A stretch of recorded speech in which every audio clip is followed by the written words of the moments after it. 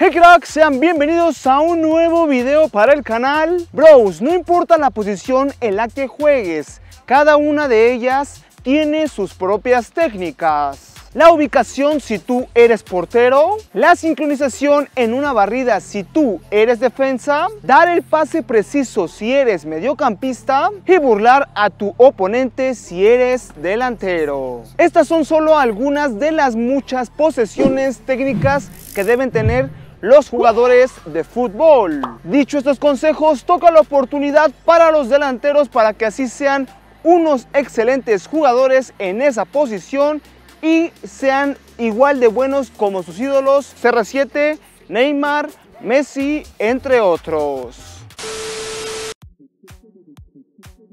Hay delanteros que se desesperan por no recibir la pelota y esto por ende retroceden a buscarla. Al hacerlo se alejan del área que es donde anotan la gran mayoría de goles. El goleador nato tiene la paciencia para esperar todo el partido con el fin de que llegue la oportunidad frente al arco.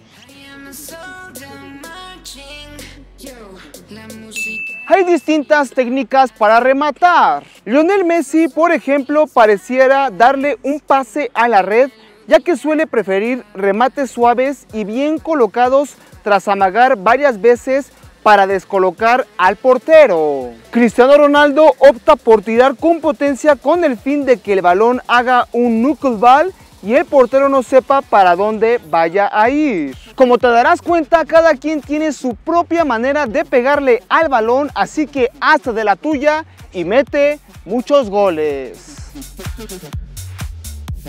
El goleador nato debe estar observando y merodeando el área todo el partido. Para él lo único que existe en la cancha es el arco y vive obsesionado con marcar un gol ya sea con la cabeza, con la rodilla o con el pie.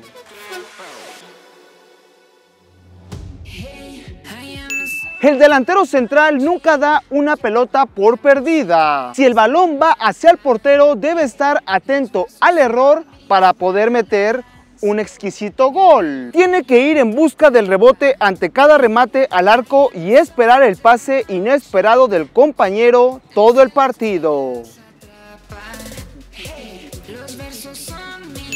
Herramienta indispensable del delantero central ya que los laterales o volantes intentarán buscarte para darte un pase aéreo. Además de saber peinar la pelota o darle un frentazo, la clave para el delantero será ganarle la posición a su marcador para que así le pueda ganar el balón por el aire. Incluso en los peores equipos, un centro atacante casi siempre tendrá una oportunidad de gol frente al arco. No todas entran, pero los buenos delanteros se recuperan mentalmente de las que erraron con el fin de estar concentrados en la siguiente jugada y ahora sí anotar gol.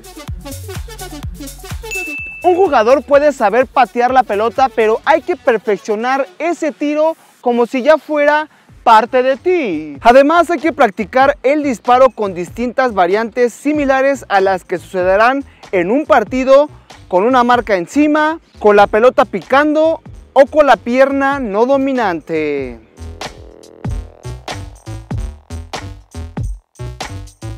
En el área siempre hay más tiempo disponible de lo que cree el delantero en el partido de fútbol. Pero la desesperación por marcar lleva a muchos delanteros a apurar su disparo. Por eso es esencial tomarse una fracción de segundo para que así puedas decidir qué vas a realizar. Puede significar la diferencia entre un disparo desviado o al cuerpo del arquero y uno esquinado que encuentre el ángulo de la portería.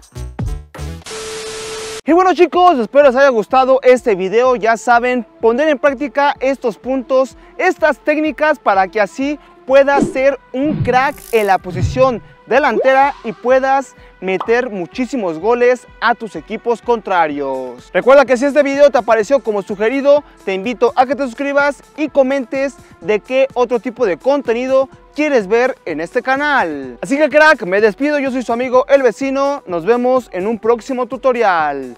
Bye bye.